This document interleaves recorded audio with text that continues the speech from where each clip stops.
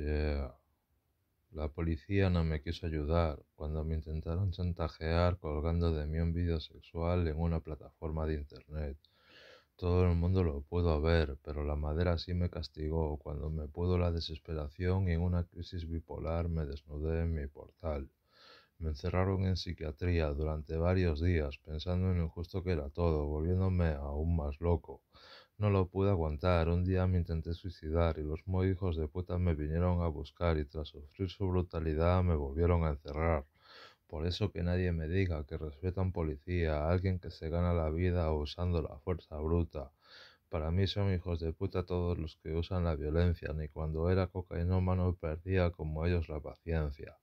Lo mío es algo anómalo, lo de ellos es tendencia. ¿Cómo confiar en nuestros protectores si resultan ser abusadores que se enervan por cualquier cosa y te buscan las cosquillas hasta ponerte las esposas? Si les encanta su trabajo, solo hay que verlos fanfarronear con sus banderitas del carajo, pero esto se va a acabar. Un día nos levantaremos y los dejaremos por los suelos.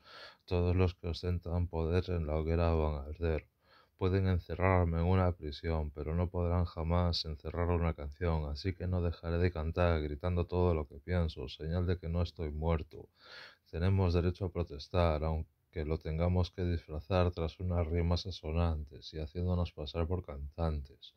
Mejor luchar por lo que crees que por lo que creen los demás. ¿Acaso es que nadie ve lo mal que así nos va? Yo no seré otro corderito dentro del corral, prefiero cometer el delito de unos besos rimar, abriendo al mundo el apetito de buscar la libertad, alzando la voz en grito, liberándose de la ansiedad.